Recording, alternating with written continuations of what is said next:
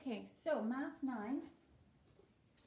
Um, I did a review video for the um, surface area and volume of a triangular prism. So we're actually going to move ahead to the next section. And I'll get set up, I will. you think I'd have that done, but I don't. Um, so for the next section, they're talking about a pyramid.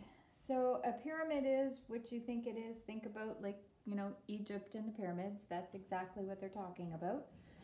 Um, so a pyramid can be made out of a rectangular prism. I'm still trying to find the page, guys. Sorry. It can be made from a rectangular prism because if you think about a rectangular prism, okay,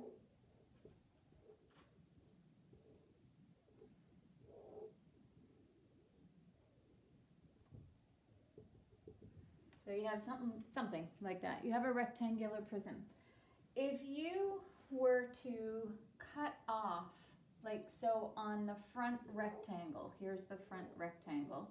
If you were to cut off all of this, and you were to cut off all of this, and you were to do that on the four sides of your cube and take the top off and fold it in, you'd have a pyramid. So again, if you were able to on each, so on this end, I would cut off here, I'd cut off here on the front, on the side, I'd cut off some, and then I'd fold in until the tips met, I would have a pyramid. So it's kind of related to a rectangular prism. But what a pyramid really is, is the bottom of it, the floor of it, is, um, is a rectangle. Um, there are triangular pyramids, but we're not going to do those. We're going to stick with rectangular pyramids meaning that the bottom or the base or the floor, whoops, is going to be a rectangle. The walls are four triangles. So if you're going to do the surface area of those, you, you really have to find the area of the four triangles and the area of the rectangles. So in example one, on page 272, they give you a pyramid um, and they tell you, and of course, me and my drawings, but let's let's just that's as good as it's going to get for me. They tell us one side is seven, the other side is seven, um, and they say that going up the side wall of the triangle is six. So that is actually something called slant height because it's the height of the slanted side of the pyramid. It's not the height of the pyramid overall. The height of the pyramid overall would be from the peak straight down to the middle of the floor, right? Because you're gonna have this rectangular floor. So the height would be straight down to the middle of the floor from the peak.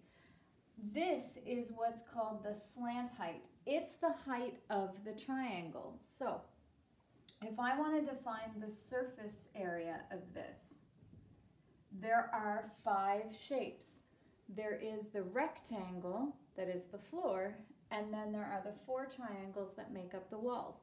Now in this case, the base is, is a square. The base is the same. All four sides are the same. Seven, seven, seven, seven. So area of the floor would be 7 times 7, which would be 49 square meters, right? Because it's meters times meters. Now, in this case, because all of the, all of the sides are 7, and the slant height of all the triangles is going to be the same because if one was taller, you'd have this piece sticking up here. they're all the same. All four triangles are the same. Now, that's not always going to be the case. Sometimes this side might not be as big as this side, and so the triangle on this end and this side would be different from the front and the back triangle. But in this one, the walls would be the, it's a triangle, so we have to find area of the triangle. So base times height divided by 2. So the base of the triangle is 7, the height of the triangle is 6, divided by 2.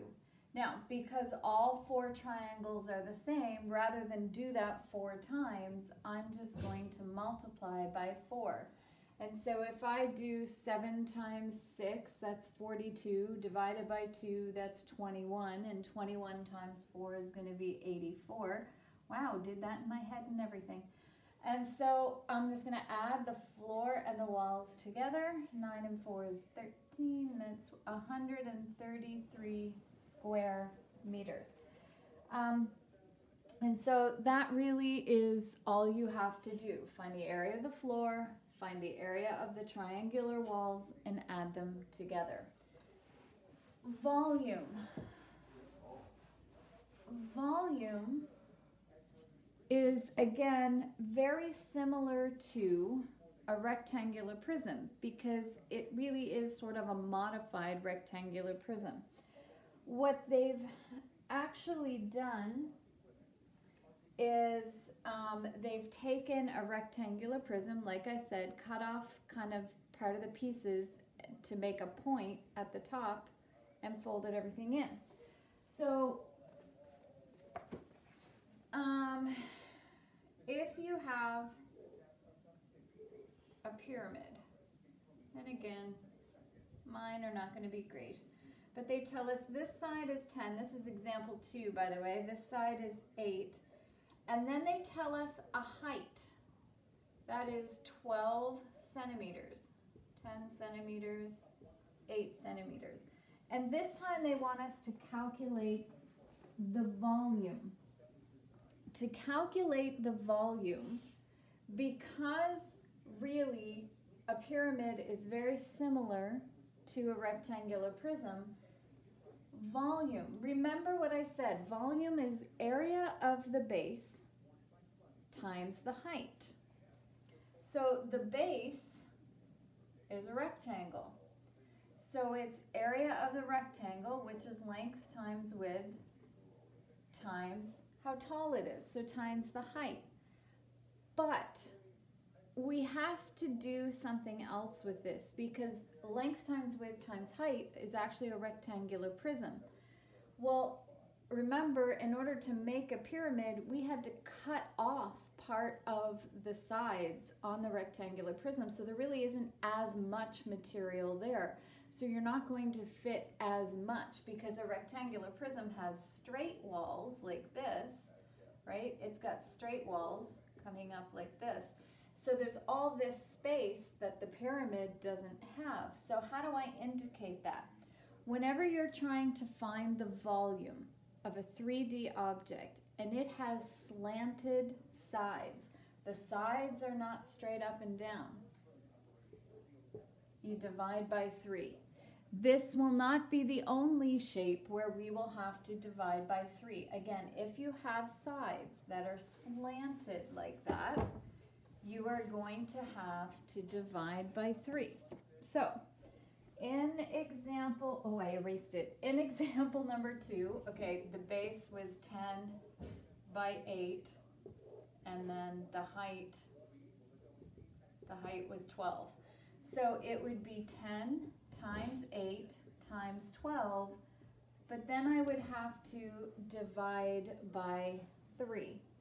Turns out that it is 320. And again, this is centimeters times centimeters times centimeters. So that would be centimeters cubed. Okay?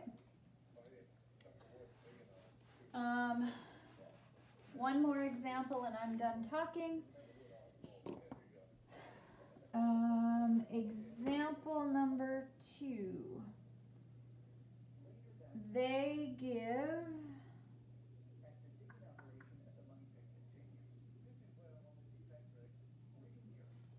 They give a rectangular prism.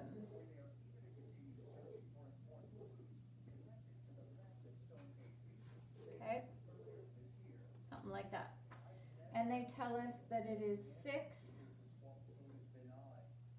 by five. I can't see, I'm getting old. Six by five by eight. Six by five by eight. So if I wanted to find the volume of this, because it's a rectangular prism, it's length times width times height. So it's uh, six times five times eight. So six times five is 30, 30 times eight is 240 cubic centimeters. And then they say, what is the maximum volume that a pyramid that would fit inside this, what would it be? So in other words, if I didn't change the dimensions, height is still eight, um, this side's still six, this side is still five. If I didn't change the dimensions, but rather than have straight up and down walls, I had slanty walls, which means I really have a pyramid here, right? I have a pyramid. So if the height was still eight, and this was still six, and this was still five, what would be the volume of this? So again, their point is just that it's going to be less than a rectangular prism that has the same dimensions because we have to divide by three because we took off part of the space out of the rectangular prism. So again, it would be six times five times eight, but I would have to divide by three, which should give me 80 centimeters cubed. All right, um, that's it. That's all I'm doing today. This is Thursday, so I'm going to give you a few to try. Good news, it's big long holiday weekend, so this is not due until Tuesday. Um, if you want to get it done and out of the way, for those of you who don't want it hanging over your head, um, good idea. Do it tomorrow. Do it, well, not tomorrow, do it today, Thursday. Um, but if not, you have until Tuesday to get it into me. Have a good Easter break. It'll be different because you won't be going to church, etc. Um, but have a good Easter break. Spend some time, hopefully outside. It's supposed to storm today and tomorrow, but hopefully, other than that, it'll be a good weekend. So we'll see you next week.